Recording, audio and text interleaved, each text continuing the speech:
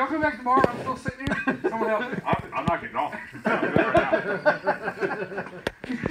You're like you go fuck up. You're trying to get off. It's fucked up. You're doing it wrong. It's